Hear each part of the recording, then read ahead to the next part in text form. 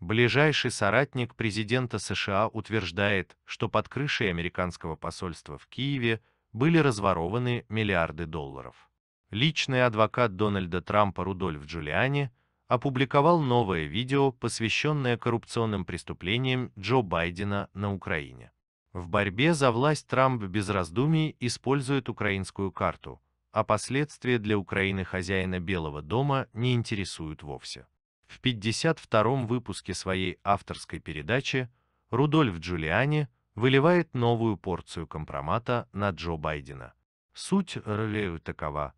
Во времена Обамы Украина получила иностранную финансовую помощь в размере 5,3 миллиарда долларов, из которых по меньшей мере 3 миллиарда – деньги американских налогоплательщиков. Но ревизию этих средств никто не проводил. По утверждению Джулиани, Байден и компания блокировали расследование, аргументируя это тем, что в американо-украинских отношениях царит полное доверие. Версия советника Трампа базируется на документе, который ему передал депутат Верховной Рады Андрей Деркач. Это отчет Счетной палаты Украины о результатах анализа эффективности использования органами государственного управления международной технической помощи. В нем перечислены сотни проектов иностранной помощи на сумму в 5,3 миллиарда долларов, которые действовали на Украине в 2015-2017 годах. Однако эта помощь не была ориентирована на определенные правительством стратегические направления развития соответствующих отраслей социально-экономической жизни страны, говорится в заключительной части отчета. Результаты реализации значительного количества проектов не соответствовали определенным приоритетам социально-экономического развития Украины. Результативность реализации проектов международной технической помощи – и эффективности использования полученных в рамках этих проектов финансовых и других ресурсов уполномоченными государственными органами не оценивалось. Надлежащего и полного учета проектов международной технической помощи Министерство экономического развития и торговли Украины как координатор деятельности в сфере привлечения и использования международной технической помощи не обеспечивало. На этом основании Джулиани приходит к выводу, что деньги американских налогоплательщиков могли быть просто разворованы неправительственными организациями, которые прикрывало посольство США.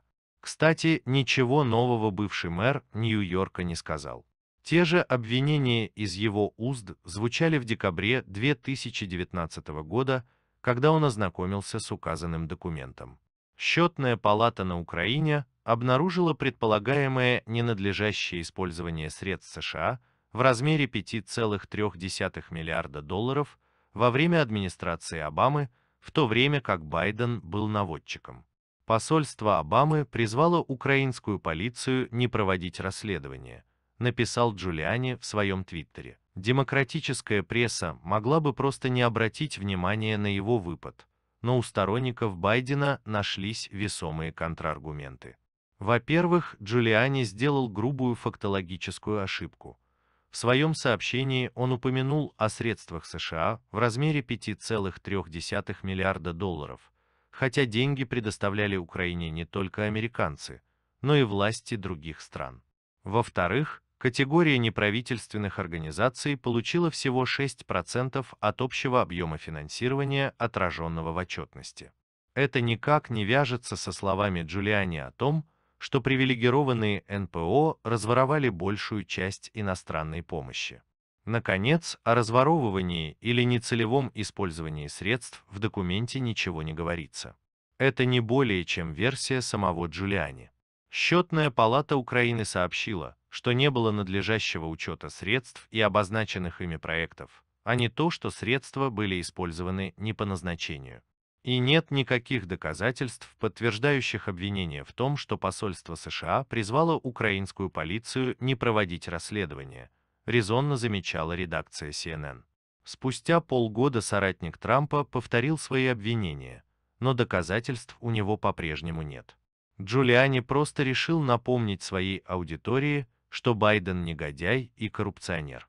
Видимо, поэтому его разоблачение не возымело эффекта разорвавшейся бомбы. Очередной информационный залп по команде Байдена оказался холостым. Впрочем, как и вся медийная кампания против бывшего вице-президента США. Разыграть украинскую карту Трампу пока не удается. Объективно для этого сложились не самые благоприятные обстоятельства. Эпидемия коронавируса и протесты темнокожего населения отодвигают тему коррумпированности Байдена на второй план. Ни американская, ни мировая общественность не обсуждает скандальные пленки Деркача, в которых Байден наговорил уже на несколько импичментов. Тем более рядовой гражданин США не обращает внимания на отчет Счетной палаты Украины. Джулиани и сам наверняка понимает, что его стратегии не работает. Для привлечения внимания он пытается по-другому расставить акценты. Поначалу в команде Трампа подсвечивали коррупционные делишки самого Байдена, но американское общество отреагировало на это спокойно.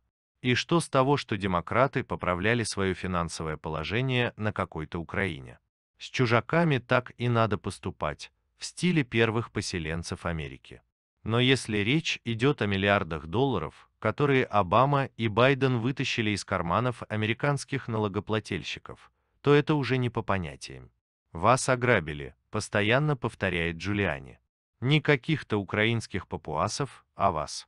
По словам личного адвоката Трампа, Последний эпизод здравого смысла, так называется его передача, только вершина айсберга.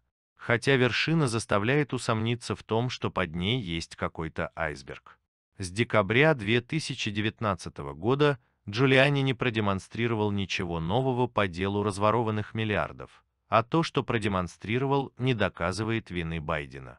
Возможно, в украинском досье Трампа просто нет никаких убийственных документов. Расследование коррупции сонного Джона Украине не продвигается. Видимо, Владимир Зеленский принял к сведению призывы американских послов не реагировать на пленки Деркача. В Соединенных Штатах ситуация аналогичная. Генеральный прокурор Уильям Барр не вмешивается в разборки Трампа и Байдена. В феврале он обещал держать двери открытыми для информации Джулиани, но с тех пор кандидат от демократов серьезно укрепил свои электоральные позиции. Сейчас перспективы его уголовного преследования выглядят почти нереальными.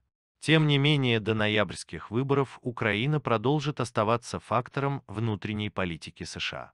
Уже сейчас понятно, что значимость этого фактора переоценивать не стоит. Не он будет определять исход президентской кампании. Однако репутация незалежной за время американских предвыборных кампаний будет разрушена в пыль. Трамп может дать ответ, посадить видных членов Демпартии. Демократы в свое время посадили в тюрьму экс-руководителя штаба Трампа Пола Манафорта, напоминает Ростислав Ищенко.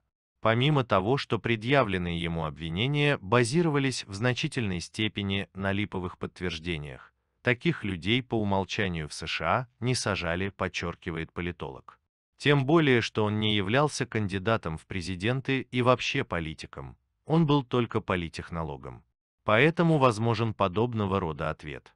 Трамп неоднократно говорил, что и Хиллари Клинтон, и еще как минимум десяток руководителей Демократической партии должны отвечать перед законом и сидеть в тюрьме. Если у него будет такая возможность, он их посадит, сказал Ищенко.